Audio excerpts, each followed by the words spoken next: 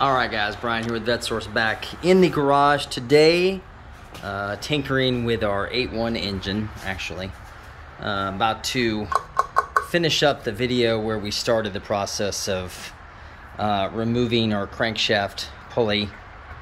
Uh, actually, that's all going to be one video. But anyway, I'm getting in here to change this timing chain uh, underneath this cover, so I'll have that for you guys later on. Today, though, what I'm going to talk about is something that happened to come up just because I was messing with this earlier. And I saw an interesting um, notation about uh, car things that people want to have back again, which is flip up headlights. Now, uh, if you're a Corvette enthusiast, you'll know that there are actually four generations of Corvettes, starting with our C2 here that have pop up or flip around headlights. These headlights actually, you can see here the movement just because the gear's loose on this car. This is our 67 uh, channel avatar car. Um, and the headlights are actually back underneath here. But these flip around 180 degrees. These are fun. Of course, these are the C3 headlights. This is the one I'm going to talk about today is the C3. And then you've got the C4 headlights, which I've also talked about in detail, um, changing the motors, removing the headlights, things of that nature. But I thought I'd get back, excuse me, onto these headlights because these two series of headlights, the C2s and the C3s, have got to be hands down the most um, aggravating, complicated assemblies that they actually made on the cars. Now, notwithstanding the fact that the body panels are glued together, and there's other things that are complex on these, but these are the kind of things that make even grown body men cry trying to put these back together because um, and, and C2s in and of themselves where you have to actually uh, remove the lower grille, remove the hood uh, to get the headlight assemblies or the motors sufficiently out of there, good enough room to work with. The C3s add another layer of uh, ridiculousness because the entire mechanism is controlled by vacuum. And here is this vacuum pod. So a C2 headlight is electric, C4 headlights are electric motors, and C5s are electric.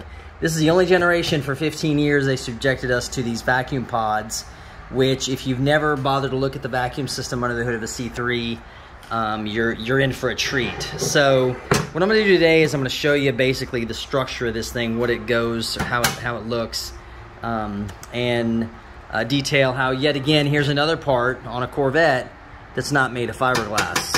This is made out of steel, and actually even these bezels up until 1970, I think 72, 72 was the last year of the metal bezels, or maybe it's 71. But of course, the 68, 69s also even have a provision for a washer port. It actually had headlight washers, and these those original bezels are pretty hard to find. Um, so it's just kind of an interesting detail item. So let's just go ahead and show you here real quick the outside of this. So you can look and see here, this is your outer bracket. It starts here, and this fits under the header panel, and it goes all the way around the headlight assembly and all the way back to the other side. Now, if you look, you'll notice there's actually one, two, three, uh, four, five bolts here that hold this assembly into place. And this is one of those things that if you're not careful trying to put this back in the car, especially a freshly painted car, you're to scratch it all up, the paint around it. Ask me how I know.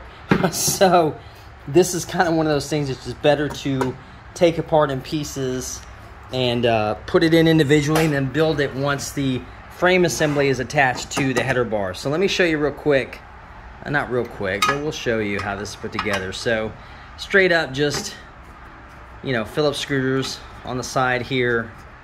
They come out, remove this. And this sucker's heavy too. This thing probably weighs a good, uh, it's at least 20 pounds, at least because the whole thing is made out of metal. Like I said, these early units, there is no fiberglass to them at all. So two of those bolts are already out. So we take that out of there, and there comes our bezel out of the way, and you can see that's in good shape. I want to set that off to the side because I want to keep this. This is a nice headlight assembly. So now you can kind of get a better idea, a better picture of what we're looking at here. So, a couple of main pieces, your mount bracket, then your actual headlight door mounting assembly, which includes the headlights that mount directly to this. on this back side. You can see here, these are your adjustment screws.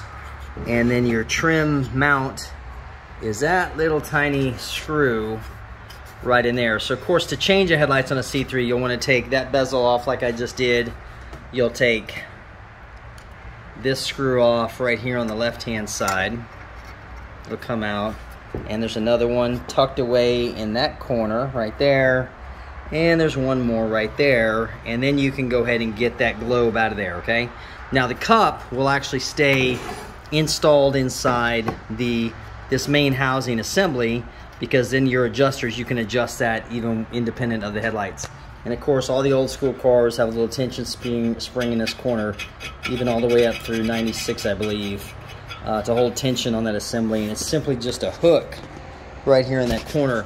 Now, of course, this here, this, this bar you see coming off of this painted headlight assembly or the mount or the, um, the, main, the main headlight piece itself is actually a limit stop switch that stops how far this comes up because what happens on these is, let's see if I can get this to come down while we're sitting here.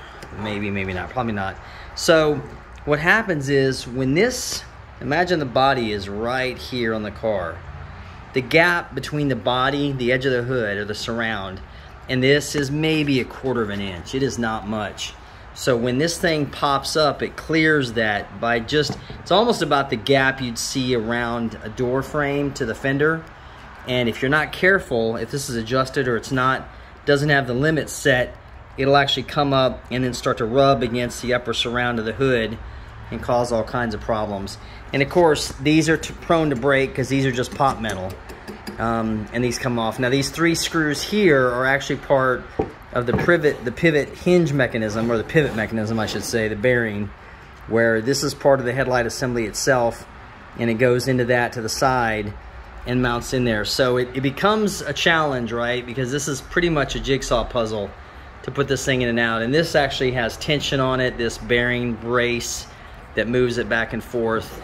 And of course, this is a, there's a nylon bushing, and it, actually you can see the inside right there. There's that nylon bushing and of course the headlight. This one looks to be a little bit worn, but this is actually headlight's in really good shape uh, for its age. Now, getting to the underside, I'm going to show you where the part that drives people berserk, okay?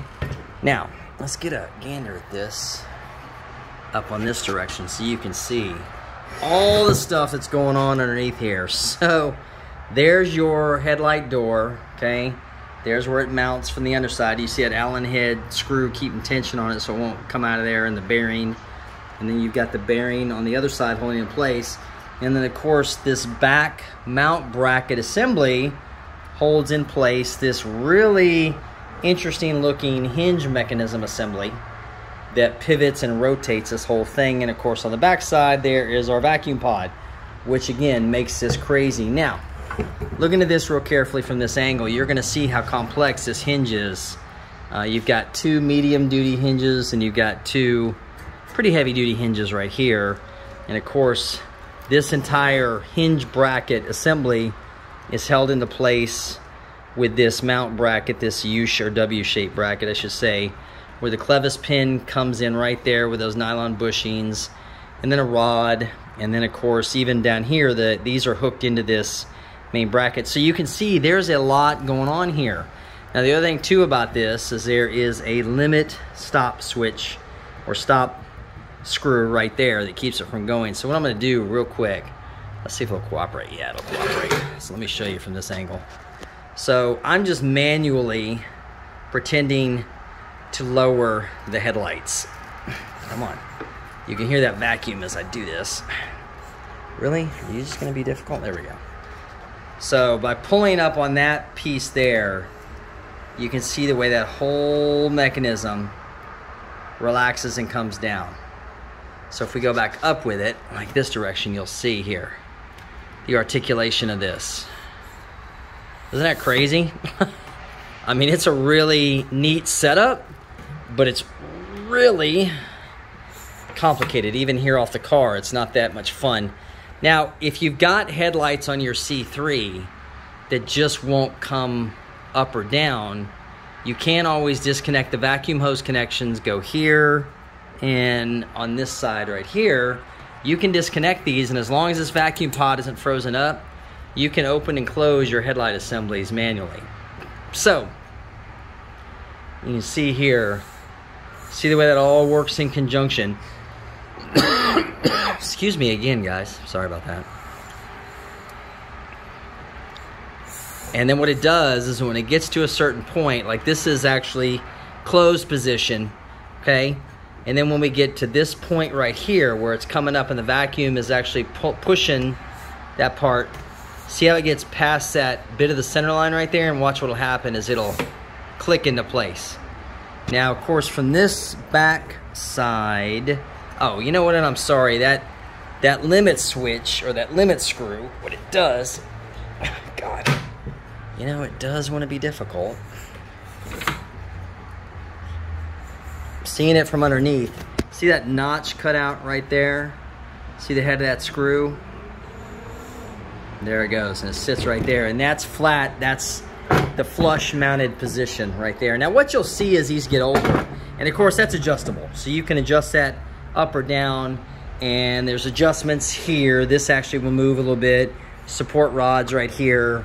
And then of course on the back side, this is notched in one mount location, which honestly doesn't do you. All it does is give you a way to locate one bolt first and then slide it into place and hold it. But it really is not terribly helpful, but they did try. Um, so what'll happen over year, the years is you'll notice sometimes these, the headlight doors will actually become warped. It's just a pot metal. So if these get warped, sometimes they won't fit correctly in here. Also, you notice how these screw holes are oversized, these bolt holes. So once you get this up in here, you're gonna actually have the ability to make movement back and forth like this to get it square inside uh, the housing cut out and the headlights surround. And of course, it's not entirely um, square. It's kind of a rounded off rectangle so it can be frustrating. So anyway, thought I'd get into it. I don't really want to tear this one down today just because it is a nice one and sometimes pieces will get broken uh, on them when we do that kind of stuff with them uh, on the bench. I need to get it lubricated up first and done, but you can hear that vacuum as it goes, so that's got a good diaphragm. But in another video, what we'll do is we'll go ahead and make a, a complete video regarding how to get these things apart. And we'll use one of the other cars to actually show the installation tricks on how to put it in because it is uh, time consuming. You see how strong those strings are. Makes me, there we go, yeah. So, that's gonna wrap it up today. Uh, we're gonna work more. Next video will be actually back to our 8.1 engine where we're gonna finish up the timing chain video. I'm still working on that timing chain. And uh, hope everybody's to have a good weekend. I know I'm to try to take some time off with the wife and kids, see what we can get into for fun. And uh, I'll catch up with you guys next week. So thanks again for watching. Talk to you then.